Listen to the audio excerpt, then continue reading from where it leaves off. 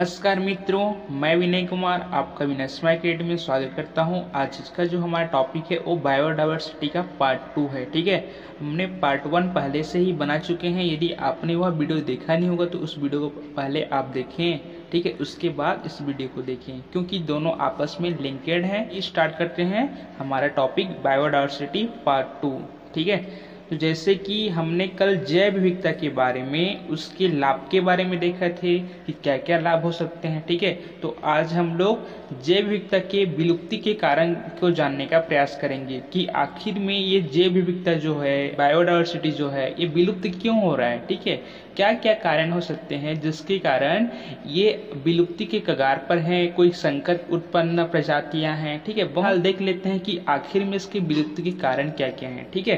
देखिए इसमें बहुत सारे क्लासिफिकेशन किया गया है क्या क्या दिया गया ठीक है? जैसे कि आवास स्थलों का विनाश अर्थात जिस तरह से हम लोग मानव द्वारा क्या किया जा रहा है कि जंगलों का विनाश किया जा रहा है जिसके कारण जंगलों में रहने वाले जीव जंतु पेड़ पौधे इन सब ये इन सब का जो एग्जिस्टेंस है वो भी खतरा में पड़ जा रहा है। और जीव जंतु जो होते हैं एक्चुअल में जो जंगल में रहते हैं, वो बाद में हमारे इलाके में ही आ जाते हैं, ठीक है? यदि आप लोग किसी शहर में या किसी गाँव में बंदरों का आना आप लोग देखे होंगे तो इसका कारण क्या है कि हम लोग उसके आवास स्थलों को विनाश कर रहे हैं। इसी कारण वे अपने स्थान को छोड़कर हमारे स्थान में आ जाते हैं और हमको परेशान करते हैं, ठीक है?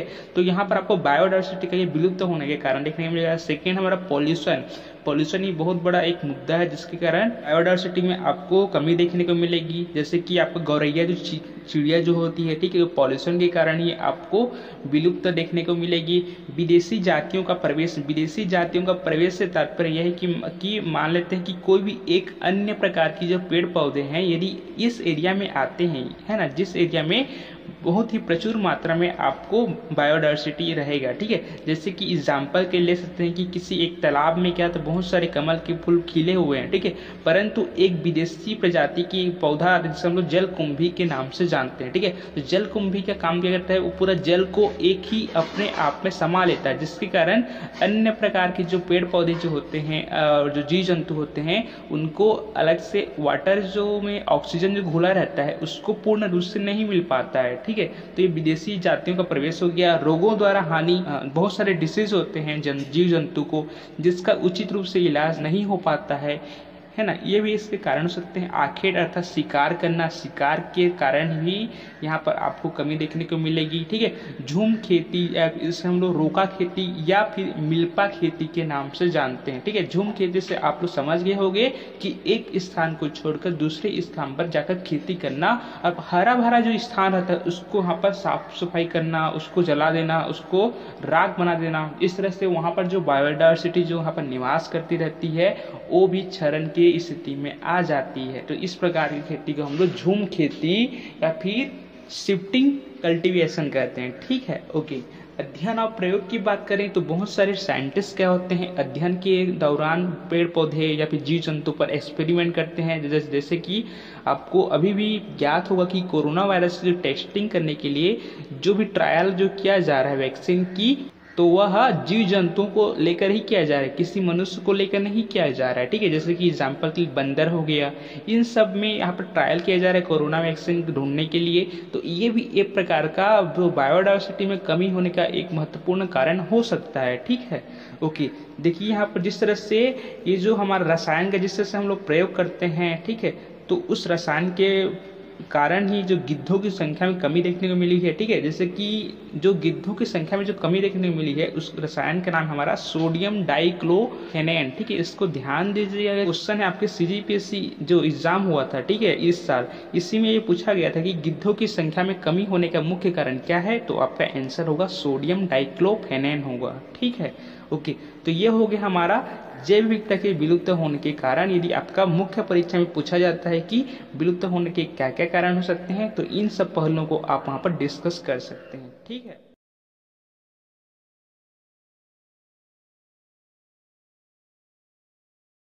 उन्नीस सौ अस्सी में बॉटेनिकल सर्वे ऑफ़ इंडिया ने वंश अनुसंधान संस्थान, ध्यान दीजिए यहाँ पर क्वेश्चन यहाँ पर वन लाइन में क्वेश्चन पूछा जा सकता है कि वन अनुसंधान संस्थान किस जगह स्थित है तो वह आपका देहरादून में होगा, ठीक है? तो यहाँ पर 1980 में क्या किया गया था कि बॉटेनिकल सर्वे ऑफ़ इंडिया ने वन अनुसंधान संस्थान के साथ मिलकर एक, क्या निकाला था? एक प्रकार का पुस्तक यहाँ पर जारी किया गया था। किस नाम से? तो थ्रीटेन प्लांट्स ऑफ़ इंडिया के नाम से यहाँ पर एक शीर्षक नाम से जारी किया गया था, जिसमें आपका जो संकट उत्पन्न जातियों के बारे में यहाँ पर निर्देशित किया गया था, ठीक है? इसमें वो बताया गया था कि जो पहला जो एडिशन था, उसमें बोला गया था कि जो उन्नीस सौ सतासी में आपका 235 क्या है? संकट उत्पन्न जातियाँ हैं, ठीक है? ठीके? अब संकट उत्पन्न जाति से तात्पर्य क्या है कि ऐसे जातियाँ जो भविष्य में क्या होना है? भविष्य में विलुप्त होने की संभावना रखते हैं, उससे हम लोग संकट उत्पन्न जाति की कहते हैं, ठीक है? और सेकेंड जो यहाँ पर एडिशन जारी किया गया था, उसके अनुसार यहाँ पर एक जातियाँ और जोड़ी गई इसमें, ठीक है? मतलब यहाँ पर आपको प्रजाति की संख्या में वृद्धि देखने को मिलेगी, अर्थात और अधिक मात्रा में लुप्त हो गए, ठीक है? और थर्ड जो एडिशन हुआ, उसमें भी आपको एक सौ जातियाँ और फिर से जोड़ी गई, है ना? हम लोग इसके ज़रिए आसानी से बोल सकते हैं कि किस तरह से जो जीव जंतु हैं, किस तरह से जो पेड़ पौधे हैं, ठीक है, उनकी जो संख्या है विलुप्त होने की वो लगातार क्या हो रही है, वो हमेशा बढ़ ही रही है, न कि घट रही है, ठीक है। तो इस बात पर हम अंदाज़ा लगा सकते हैं कि किस तरह से यहाँ पर बायोडाइवर्सिटी का हास हो रहा है, किस तरह से यहाँ पर विलोपन हो रहा है, ठीक है। तो इसी कड़ी में एक और यहाँ पर IUCN द्वारा यहाँ पर जारी किया गया था रेड डाटा बुक इसको भी ध्यान दीजिएगा, क्योंकि ये भी क्वेश्चन आपके एग्ज़ाम में पूछा जा चुका है कि रेड डाटा बुक क्या है, ठीक है? तो प्रकृति एवं प्राकृतिक संपदाओं के संरक्षण के लिए अंतर्राष्ट्रीय संघ आई जिससे हम लोग विश्व संरक्षण संघ के नाम से भी जानते हैं। ध्यान दीजिए इस नाम से विश्व संरक्षण संघ के नाम जानते हैं। IUCN का पूरा नाम देखा जाए तो International Union of Conservation for Nature ये होता है, ठीक है? इसकी मुख्यालय कहाँ है? तो आपका स्विट्जरलैंड के ग्लैंड में स्थित है। ध्यान दीजिए, कहाँ पर स्थित है? स्विट्जरलैंड के ग्लैंड में स्थित है और इसका एक केंद्र है। इसका एक सेंटर जिसका नाम है विश्व संरक्षण मॉनिटर केंद्र है। ठीक है? उसने क्या किया था कि एक सूची तैयार किया था, है ना? एक सूची तैयार किया था और जिसमें जिससे क्या नाम दिया गया? उससे ही रेड डाटा बुक नाम दिया गया। ठीक है? और इसके अंतर्गत क्या क्या शामिल किया गया है? तो इसके अंतर्गत साठ हज़ार पादप, अर्थात पेड़ पौधे और दो हज़ार से अधिक प्राणी जाति को संकट उत्पन्न बतलाया गया है। ठीक है? अर्थात रेड डाटा जो बुक है, वह संकट उत्पन्न होने वाले पादप और जीव जंतु के सूची को दर्शाता है। कौन? हमारा रेड डाटा बुक। ओके? ध्यान दीजिए इसको। इसी तरह से एक और बुक है जिसका नाम है ग्रीन बुक क्या इसका जो हमारा जारी जो किया गया था यह हमारा बी एस आई के द्वारा जारी किया गया था। बी एस आई मतलब बॉटेनिकल सर्वे ऑफ़ इंडिया द्वारा जारी किया गया था। और इसमें क्या किया गया था कि इसमें दुर्लभ प्रकार के पौधों का वर्णन देखने को मिलेगा, ठीक है? जिस तरह से आपको रेड डाटा बुक में दोनों देखने को मिलेगा, परंतु ग्रीन बुक में आपको सिर्फ़ पौधे ही देखने को मिलेंगे। उसके पौधे की ही जानकारी आपको देखने को मिलेगी, जो कि एक दुर्लभ प्रकार की होगी। ठीक है? तो यहाँ पर आपको सौ पौधे का वर्णन किया गया। जब बीएसआई द्वारा यहाँ पर जारी किया गया था, ग्रीन पुस्तक तो यहाँ पर सौ पौधे का वर्णन यहाँ पर किया गया था। ठीक है? तो ग्रीन बुक हो गया, रेन डाटा बुक हो गया, और ये हमारा threat and plants of India, इन तीनों की मदद से हमने सूची जारी किया। है ना? जिससे पता चला कि कौन कौन से जीव जंतु हैं कौन कौन से पादप हैं जो कि संकटापन्न स्थिति में है, ठीक है? तो ये सब हमारा बुक हो गया। हमने देखा कि किस तरह से जीव जंतु हैं, पादप हैं, सभी क्या हो रहे हैं? लगातार विलुप्त हो रहे हैं, ठीक है? तो इसीलिए क्या है? इसीलिए प्रत्येक जाति के लिए उसका प्राकृतिक आवास सुलभ होना बहुत ही आवश्यक है। अर्थात सभी जो पादप हैं, सभी जो जीव जंतु हैं, उनका एक अलग से हैबिटेट होना बहुत ही आवश्यक है। और हैबिटेट तो रहेगा ही रहेगा, परंतु उसको कंजर्वेशन भी करना बहुत ही ज़रूरत है। ऐसा नहीं कि सिर्फ़ हैबिटेट उनको दे दिया जाएगा उसको कंजर्वेशन भी करना चाहिए, उसको संरक्षण भी प्रदान करना चाहिए, तभी यह बात बन पाएगी, ठीक है? तो इसी कड़ी में आयुसीएन ने क्या किया था? उन्नीस सौ चौरासी और अठासी में, ठीक है? दुर्लभ जातियों के संरक्षण करने के लिए एक कानूनी स्तर पर क्या किया? पाँच वर्गों में बांटा है। किसको बांटा है? तो देख लेते हैं किसको किसको बांटा गया है। तो पाँच वर्ग कौन कौन से? पहला जो वर्ग है, विलुप्त जाति। है ना? अब देखते हैं विलुप्त जाति में कौन कौन सा चीज़ आएँगे? तो विलुप्त जाति में ऐसा जाति आएँगे जो लंबे समय से ना तो अपने स्थानीय आवास में, अर्थात वो भले जहाँ वह रहते थे, अब वहाँ पर उनकी मौजूदगी देखने को नहीं मिल पाएगी, अर्थात वो पूर्ण से विलुप्त हो चुके हैं। ठीक है? तो इस तरह से हम लोग जो भी जातियाँ हैं पादप की जीव जंतु की तो इन्हें हम लोग विलुप्त जाति के नाम से सूचित करेंगे, ठीक है? जैसे एग्ज़ाम्पल के ले सकते हैं डायनोसर हो गया साइकेड आइडिया हो गया, ठीक है? तो ये सब हमारे विलुप्त जातियाँ हैं, जो कि पूर्ण से विलुप्त हो गए हैं, हमको बस इनके नाम ही स्पष्ट रूप से देखने, सुनने को मिलती है। परंतु इसका हम लोग साक्षात दर्शन नहीं कर सकते हैं, ठीक है? अब यहाँ पर एक चीज़ और ध्यान दीजिएगा कि डायनासोर जो हैं, ठीक है, वो क्रिटेसियस युग में मतलब विलुप्त हुआ था, ठीक है? ये क्वेश्चन भी आपका किसी किसी एग्ज़ाम में पूछा जाता है तो इसको भी ध्यान देने की ज़रूरत है क्रिटेसियस, ओके? हम्म।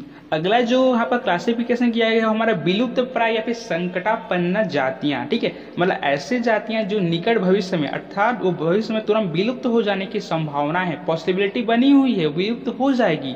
तो तरह से हम जातियों को विलुप्त प्राय या संकटापन्न जातियाँ कहेंगे। एग्ज़ाम्पल के ले सकते हैं सोन चिड़ैया हो गया, गेंडा हो गया ग्रेट इंडियन बस्टर्ड हो गया।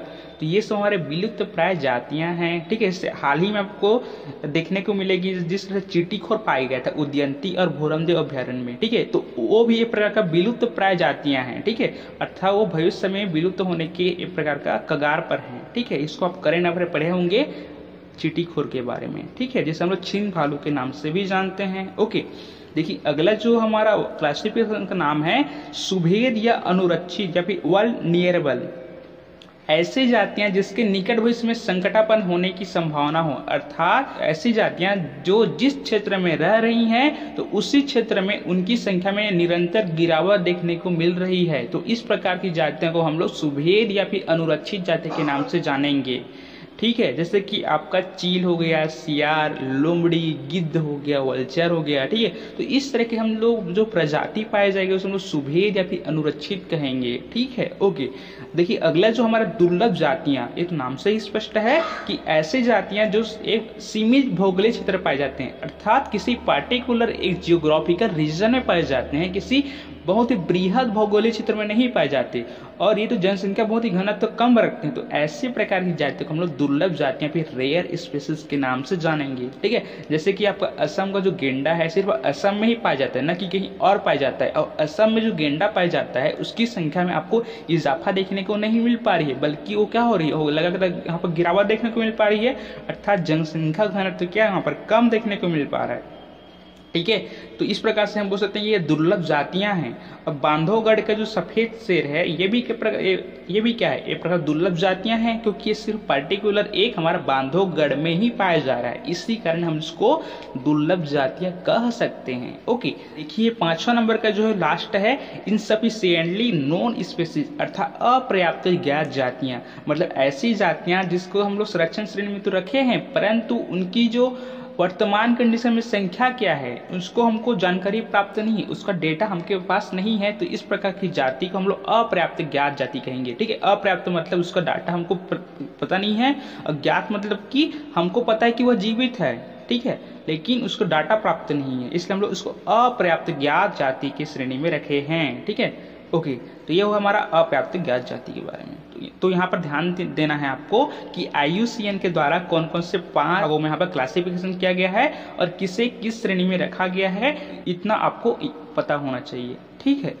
जिस तरह से आई ने क्लासिफिकेशन किया है तो अब यहाँ पर मेस एंड लैंड यहाँ पर एक अलग साइंटिस्ट हैं तो उन्नीस सौ निन्यानवे में मेस एंड लैंड ने क्या था विलुप्तिकरण के प्राथमिकता के आधार पर। किसके आधार पर? प्रोबेबिलिटी ऑफ़ एक्सटेंशन इसके आधार पर इन्हें तीन बराबर भागों में बांटा है। ठीक है, जबकि आयुसीएन क्या था? आयुसीएन ने संरक्षण करने के उद्देश्य से कानूनी स्तर पर लीगल स्टेटस पर उन्होंने पाँच बराबर भागों में बांटा था परंतु यहाँ पर प्रोबेबिलिटी ऑफ़ एक्सटेंशन अर्थात विलुप्ति होने की के आधार पर इसे बांटा गया है। किसने? मेस एंड लैंड ने। कब? उन्नीस सौ निन्यानवे में। तो देख लेते हैं कौन कौन सा लेवल है, ठीक है? तो पहला जो लेवल है क्रिटिकली इंडेंजर्ड स्पेसिस अर्थात क्रांतिक विलुप्त प्राय जातियाँ। मतलब ऐसी जातियाँ जो आने वाले पाँच सालों के अंदर उसमें जो जाति की संख्या 50 परसेंट या फिर 50 परसेंट से अधिक विलोपन होने की संभावना है, उस हम लोग क्रांतिक जातियाँ कहेंगे। इसके अंतर्गत शामिल कौन कौन सा बरबेरिस, नीलगिरी, एंजिस एक प्रकार का पौधे के नाम है हमारा। सस, सेल्वानिकस, ये पिग्मी हॉग है, ठीक है? तो ये उसको हम लोग क्रांति का भी विलुप्त प्राय जातियाँ कहेंगे। इसी कड़ी में आपका है संकटापन्न या फिर विलुप्त प्राय जातियाँ। मतलब इस पर, ऐसी जातियाँ जो आने वाले 20 वर्षों में, है ना, जिसकी प्रजाति की संख्या जो विलुप्त होना है, विलुप्त होने की संख्या है वह 20 परसेंट तक विलुप्त होने की संभावना यदि बनी रहती है तो हम इसे विलुप्त प्राय जातियाँ कहेंगे।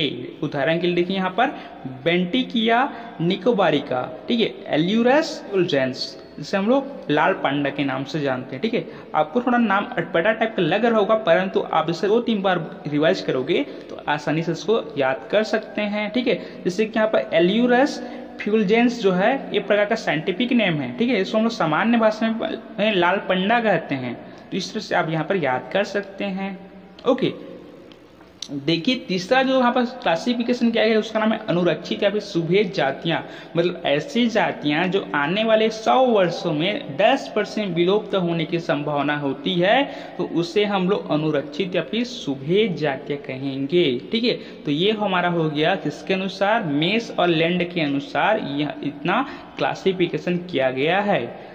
ओके, अब यहाँ पर एक चीज़ और ध्यान दीजिए, निम्न खतरा वाली जातियाँ किसे कहेंगे? तो वे जातियाँ जो क्रांतिक विलुप्त प्राय, क्रांतिक विलुप्त प्राय मतलब कि आने वाले पाँच वर्षों के अंदर 50 परसेंट या 50 परसेंट से अधिक विलुप्त होने वाले की संभावना यदि रहती है उसको क्रांति विलुप्त प्राय करते हैं। सुभेद जाति की श्रेणी, सुभेद जाति मतलब आप लोग समझ कि आने वाले सौ वर्षों में कितना 10 परसेंट यदि विलोपन होने की संभावना होती है उसको सुभेद कहते हैं तो ऐसी जातियाँ जो क्रांतिक विलुप्त प्राय और सुभेद जाति की श्रेणी में नहीं आती उसको हम क्या कहते हैं? स्पेशल एक्ट लोअर रिस्क कहते हैं, अर्थात निम्न खतरा वाली जातियाँ कहते हैं, ठीक है? सो ध्यान दीजिए कि किसे क्या कहते हैं, ओके? ठीक है तो ये हुई बात हमारा एंड मेस के संदर्भ में। अब हम लोग कुछ परिभाषा भी देख लेते हैं, ये भी क्वेश्चन आपसे पूछा जा सकता है कि आखिर स्थानिक जातियाँ किससे कहते हैं, ठीक है? देखिए स्थानिक जातियाँ से तात्पर्य है कि एंडेमिक स्पेसिस अर्थात स्थानीय जातियाँ वे होती हैं जो संपूर्ण विश्व के किसी विशेष क्षेत्र में ही पाया जाता है। अर्थात सभी जगह उसकी मौजूदगी देखने को नहीं मिलेगी। ये किसी विशेष क्षेत्र में क्या पाए जाएँगे? यदि कोई वनस्पति होगा, कोई पादप होगा तो ये किसी विशेष क्षेत्र में ही उगेंगे, न कि सभी क्षेत्र में उगेंगे, ठीक है? इसलिए अत्यंत क्या है, महत्वपूर्ण है, क्योंकि यदि ये जातियाँ किसी कारण से विलुप्त हो जाएगी तो संपूर्ण रूप से क्या हो जाएगी? विलुप्त हो जाएगी। देखिए, यहाँ पर नाम से ही स्पष्ट है कि स्थानीय जातियाँ अर्थात स्थानीय हो, स्थानीय है, अर्थात वो लोकल है, अर्थात कोई भी पादप है अभी कोई भी जीव जंतु है, वो लोकल लोकालिटी रहेगी वहीं की। तो वहीं की रहेगी और किसी अन्य क्षेत्र की नहीं रहेगी, तब की कंडीशन में ऐसे जाते हम लोग स्थानिक जातियाँ कहेंगे, और यदि वे अपने ही एरिया में लुप्त हो जाएँगे तो हम यह बोल सकते हैं कि वह संपूर्ण क्षेत्र में लुप्त हो जाएँगे, ठीक है? तो इस प्रकार की जातियों को हमको संरक्षण करने की कंजर्वेशन करने की बहुत ही आवश्यकता है, ठीक है? यदि हम लोग भारत में बात करें तो भारत में लगभग आपको पाँच हज़ार पादप स्थानीय जाति देखने को मिलेगी, ठीक है? जिसमें से आपका जो पश्चिमी घाट है उसमें आपका दो तिहाई उभयचरी जंतु जातियाँ, स्थानीय जातियाँ हैं, ठीक है? एग्ज़ाम्पल के ले सकते हैं मतलब फाइकस एलिजियोसा जिसे पीपल कहते हैं ब्यूटिया मोनोस्पर्मा प्लास घरियाल को हम लोग ग्रेबियलिस गेंगेटिकस ठीक है? अब गेंगेटिकस का मतलब है कि ये गंगा जो रीजन हमारा, गंगा तटीय जो क्षेत्र है उसी के में पाया जाता है, इसलिए हम लोग उसको गेंगेटिकस के नाम जानते हैं फिर गेंगेटिक कहते हैं। ध्यान दीजिए सबको। इसी कड़ी में एक और परिभाषा है, जिसे हम बोलते हैं थ्रेटन स्पेसिस, या फिर हिंदी में बोलेंगे तो भयातुर जातियाँ।